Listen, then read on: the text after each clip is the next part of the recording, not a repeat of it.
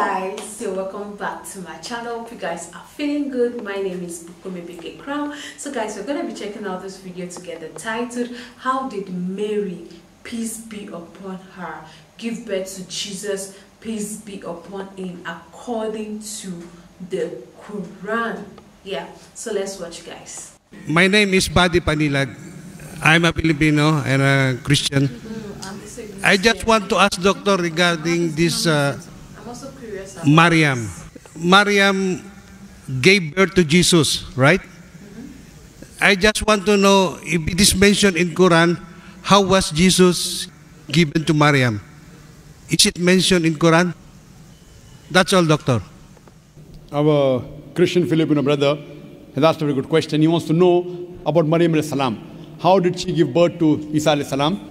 And what does the Quran speak about that? Yeah. Brother, if you read the Quran, there is a full chapter called as Surah Maryam. Chapter by the name of Mary, Mary. who yeah. was the mother of Jesus Christ, peace be upon him. If you read the Bible, out of the 73 books of the Bible, out of all the 66 books of the Bible, there is no book by the name of Mary or Maryam. Y- yes, yes, yes. yes. There is no. But if you read the Quran, if you read the Quran, there is a chapter by the name of Maryam, that is Mary, the mother of Isa alayhi salam.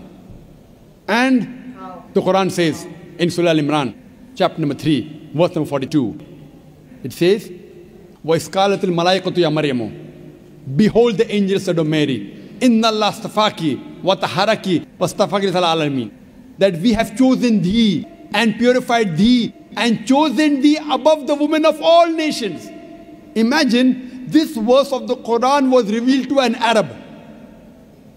Muhammad Sallallahu which says that Allah subhanahu wa ta'ala has chosen a Jewish woman. A woman above all the other women and purified her. You know, actually, it is bad marketing. The Jews were against the Arabs. And the audience of Muhammad Sallallahu were Arabs. Now, Muhammad Sallallahu is saying that Almighty God has chosen a Jewish woman, Maryam Alayhi Salam, Mother Mary, as a woman above all the other women. This is what the Quran says. Women above the all nations. But this is a revelation from Allah subhanahu wa ta'ala. Muhammad sallallahu alaihi wasallam has no option. It is not his words. It is the word of Allah subhanahu wa ta'ala. That whatever is revealed to him, he has to believe. Furthermore, if you read in Surah Imran chapter 3, verse number 43, 44, 45, you come to verse number 47. It says, the main question that you asked, what does it speak about the birth of Isa alayhi salam? It says that when Archangel Gabriel, in Surah Imran chapter 3 verse 47, comes to Maryam and says that you shall give birth to a son. So she says that how shall I have a son when no man has touched me? Similarly, if you read in the Bible, a similar incident says that how shall I have a son when I knoweth no man? Knoweth no man means she does not know any man. Knoweth no man here means not knowing, it means knowing sexually. We understand the language of the Bible.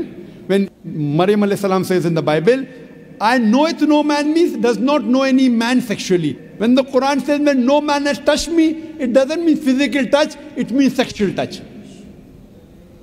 That no man has touched me. But then the Quran continues. إذا كذا أمرا that Allah decrees the matter. Allah says be and it is. When Allah decrees the matter, He says be and it is. So Allah says, when Almighty God willed that she should give birth to a son, it takes place. Kun fayakun, be and it is. So the birth of Jesus Christ, peace be upon him, was a miraculous birth. It was a miraculous birth. There was no male intervention.